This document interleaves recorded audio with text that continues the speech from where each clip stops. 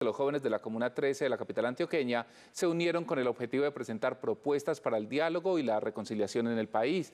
Al representante del gobierno nacional le pidieron más oportunidades y apoyo para la educación y la cultura de las nuevas generaciones. Aunque no se trataba de un escenario de negociación, sino de diálogo, unos 60 jóvenes de la Comuna 13 le manifestaron al representante del gobierno nacional las que para ellos son los motivos de la movilización social. El gobierno se llevó un panorama claro de por qué la gente está en la calle.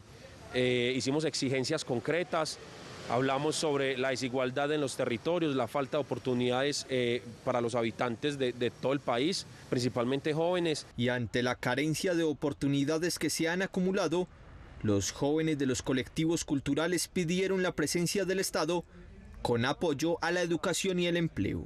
Uno de los compromisos principales con el gobierno nacional que tuvimos ayer fue dejar un canal abierto de comunicación. Tenemos que empezar a generar unos cambios dentro de los territorios. Eso no quiere decir que por esos compromisos el paro se levante.